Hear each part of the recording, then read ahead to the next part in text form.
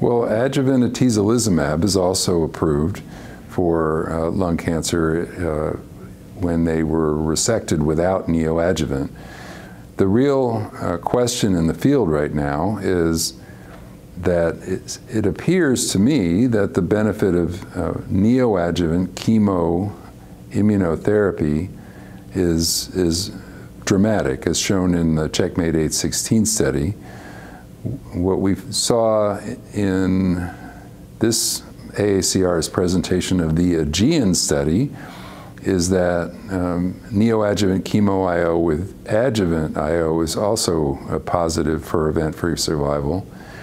But it wasn't strikingly different than um, what you saw with Checkmate 816 with no adjuvant immunotherapy. So the main question in the field really now is who needs adjuvant immunotherapy?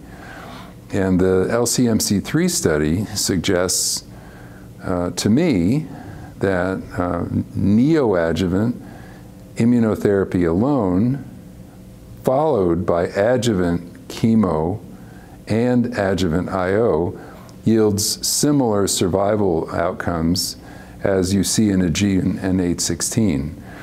If you give neoadjuvant chemo IO, like in 816 or Aegean, it's unclear to me that Aegean um, suggests that adjuvant IO is important.